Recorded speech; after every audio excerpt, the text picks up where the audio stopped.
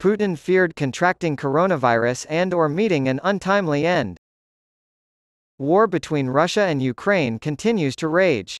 Putin faces the danger of coronavirus and his own assassination against this backdrop. He has to get on a mysterious train for the ride of his life. Gleb Karakulov, a former member of the Russian government's the Federal Security Service, revealed all the details of the protections put in place for Putin. Gleb Karakulov claimed that the Russian president has multiple, identical mansions across the country. Putin is rarely seen outside of his private residence, affectionately called the bunker. His avoidance of society is notable. He's a leader, but he's very much focused on himself and his safety. He also said that Putin has traveled with Russian leaders 180 times. Putin does not care about new technologies. He does not even own a landline phone. When he needs to know something, he asks his friends and family for help. War-torn Ukraine is shoring up its defenses along its borders with Belarus and Russia because it fears a new attack from Russia. Ukraine has bolstered its defenses along its border with Belarus in anticipation of a possible new Russian attack.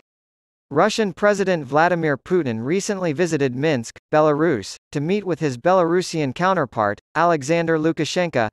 Ukraine will improve its defenses on the border with Belarus. Over the past week, Ukrainian engineering units have stocked dozens of minefields with more than 6,000 anti-tank mines. Despite the weather, Ukrainian troops worked non-stop, said the head of Ukraine's Unified Military Command. It is important to note that Belarus has been on Russia's side since the beginning of the Ukraine war, and that Putin used Belarusian territory as a springboard for his invasion of Ukraine in February 2022. At the same time, Russia's leader has issued an order to beef up security along the country's borders. In the parts of Ukraine that Moscow claims as its own, he ordered special services to ensure the safety of the local population. Russian troops in Belarus will participate in military drills with their Belarusian counterparts, according to a recent announcement from Russia's defense ministry. The Ukrainian Ministry of Defense has stated that the country is bolstering its defenses along its entire border with Russia and Belarus. Is Russia trying to involve Belarus in the war in Ukraine? To increase its support for the special military operation, the Kremlin is reportedly putting pressure on Belarus. Russia, however, has brushed off these accusations as totally stupid, groundless fabrications.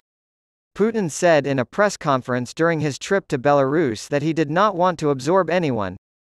Putin previously stated that the deployment of tactical nuclear weapons would take place on Belarusian territory. A police official in Mumbai confirmed on Sunday that a case had been filed against rapper Umesh Khade for his allegedly anti-government and anti-administrative song.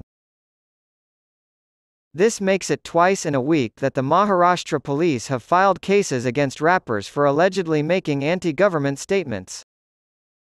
In the most recent incident, a member of the Crime Intelligence Unit of the Mumbai Police Department lodged a formal complaint.